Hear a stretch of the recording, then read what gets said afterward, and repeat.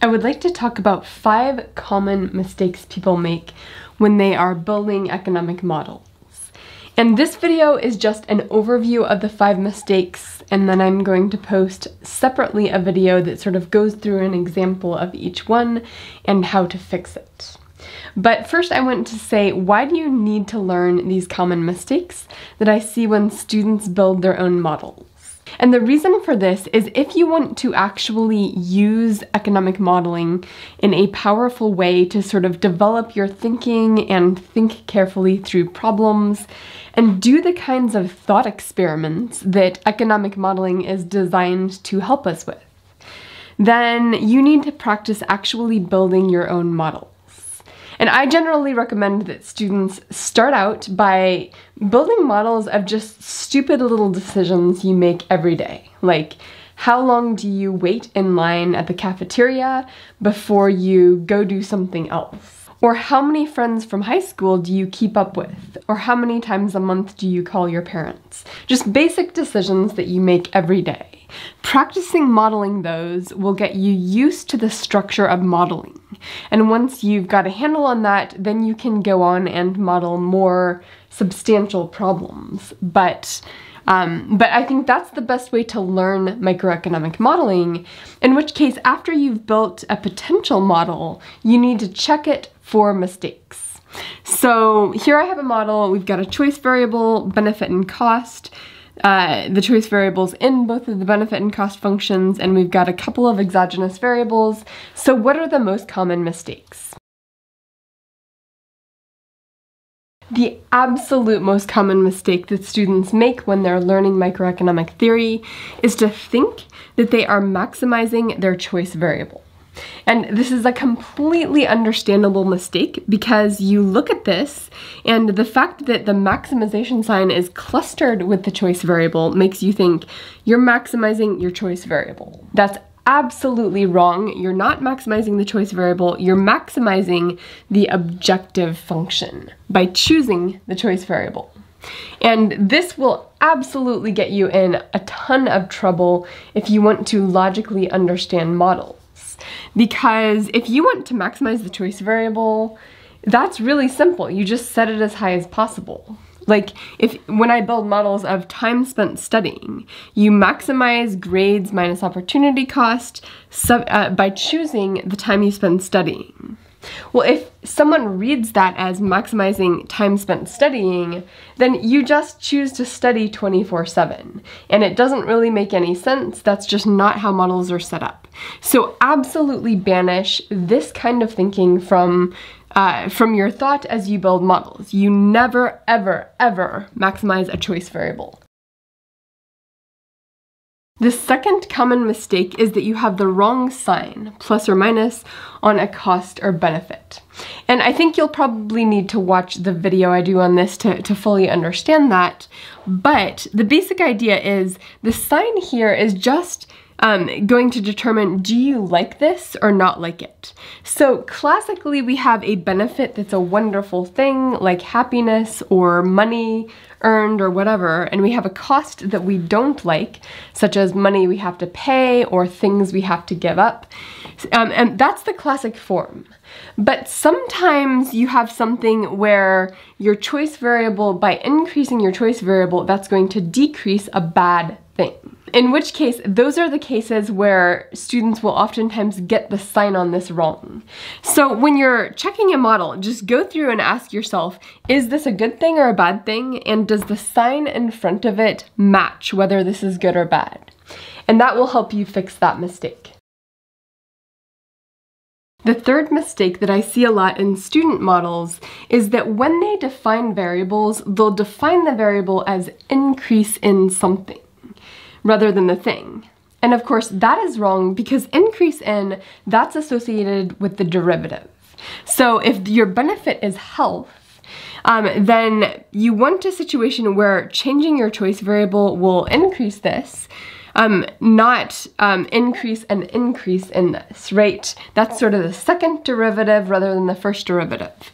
So if you're hoping that by exercising more, if exercise is your choice variable, you will get greater health, you just want to define this as your total health And this is going to be the thing that contributes to that total health. So you never want to define a variable as increase in health. Uh, and it's easy to fix that one. You just get rid of increase, cross it out, and whatever the thing is, if it's health, that's how you should define your variable. The next common mistake I see in student models is that they'll have a variable that's endogenous, in other words, it's a function of the choice variable, when if you think about it logically, that variable should be exogenous.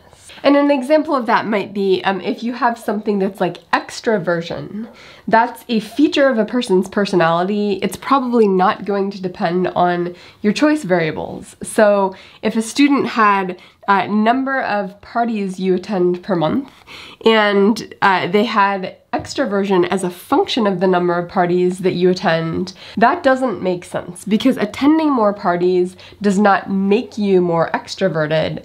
Extroversion is sort of a fixed personality characteristic.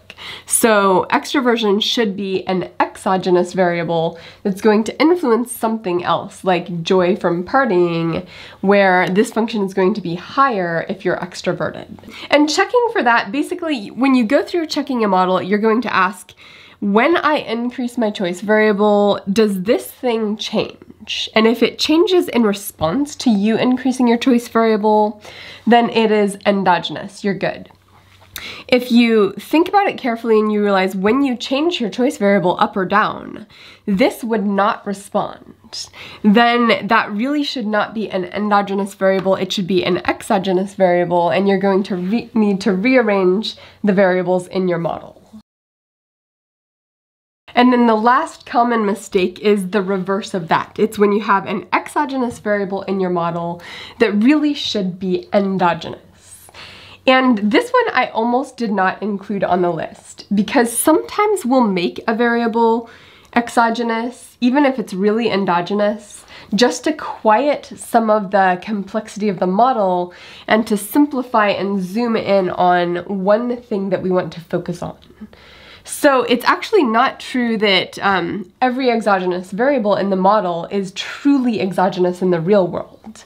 Having an exogenous variable just means you want to play around with that variable in certain ways using comparative statics, and it's not the, the motivational forces that you're focused on. Um, in which case, like, when is this actually a mistake? I think this would be a mistake if you're not doing it intentionally. So if someone looks at your model and they're like, wow, that should be endogenous, why isn't it endogenous? You should have an answer to that question. And if you don't, then you just haven't thought through your model carefully enough. Now, the sixth mistake I see commonly in student models is that they have a choice variable that's not something the decision maker that they're modeling can actually choose.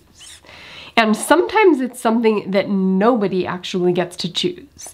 So when you're building a model, make sure you think about whose perspective is this from, whose decision is the choice variable.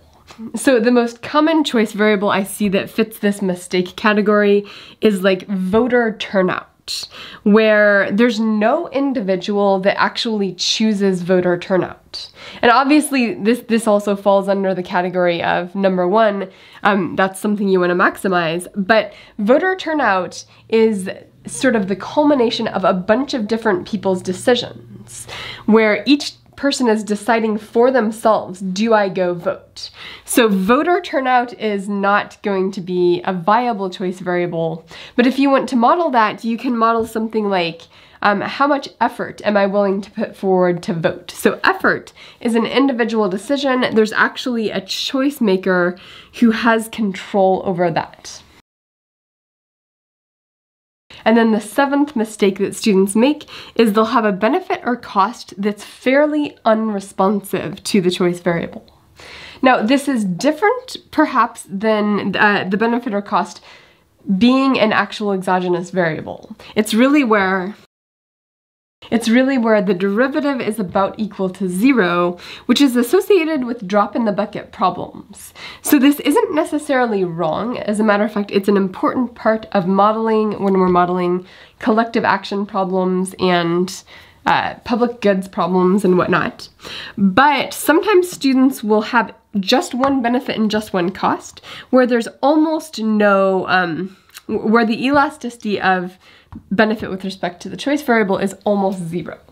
And the most common place I see this is with recycling models where you're choosing how much to recycle and you're choosing it because by recycling you have a positive impact on the environment.